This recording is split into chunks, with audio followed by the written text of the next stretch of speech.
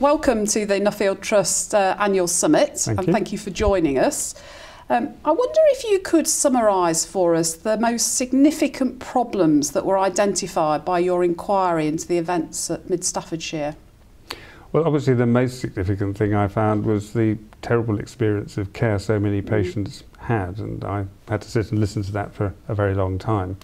And that will remain with me. And the lesson I drew from that was everyone should listen to that sort of experience if they have anything to do with the health service.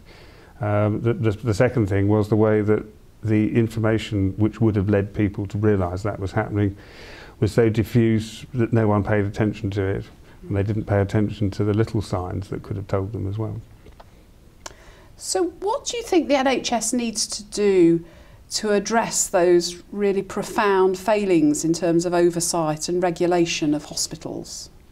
Well, there, there needs to be an individual and a collective change of attitude, in my view.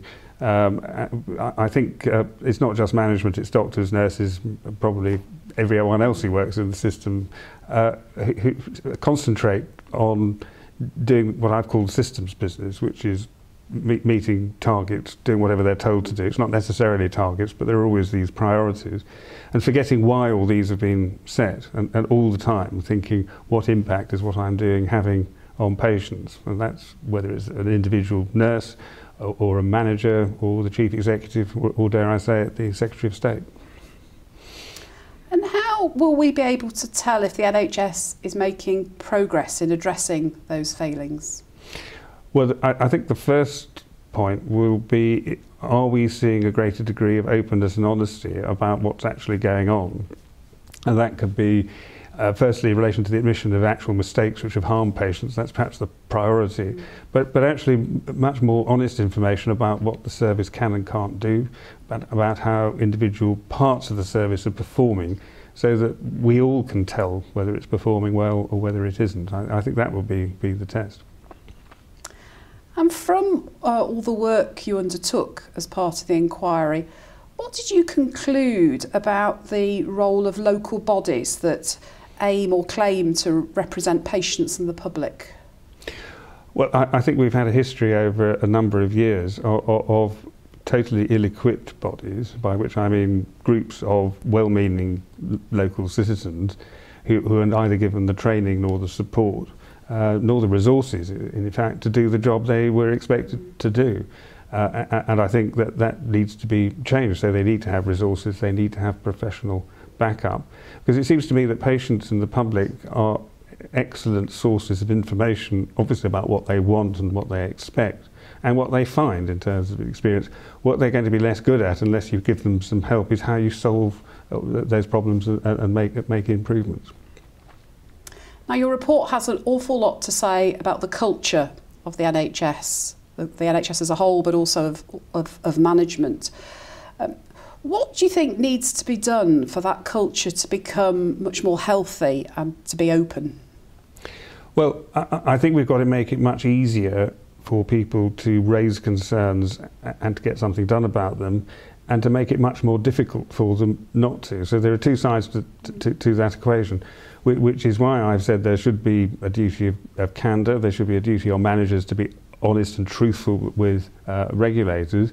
And I'm afraid at the other side, that that I think there should be some, uh, serious sanctions when managers or, or leaders lie to boards or deceive them, uh, or where colleagues of, of say nurses or, or, or doctors willfully obstruct them trying to tell the truth about things. Uh, that's happened, certainly was happening at Mid Staffordshire. Uh, and so I want a sort of carrot and stick approach, if you like, but mm. um, you, I, I think you do need both.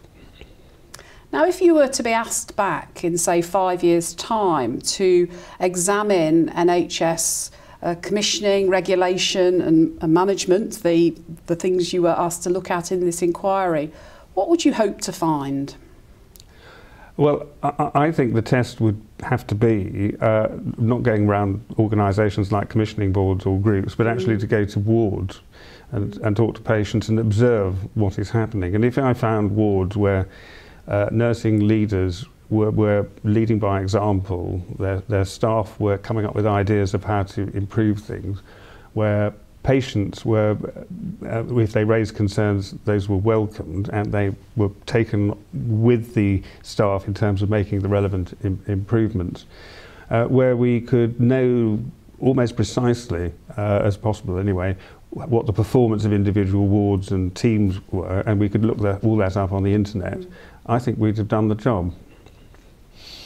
And you've, you've devoted a significant uh, chunk of your career these last few years to the two inquiries into Mid Staffordshire. Just finally, what are your sort of reflections on that? How are you going to look back on this time? Well, I, I've spent longer than I care to admit uh, as a lawyer dealing with medical issues, but uh, for the last three years have been an absolute eye-opener for me in terms of the reality of one unfortunate part of, of the health service.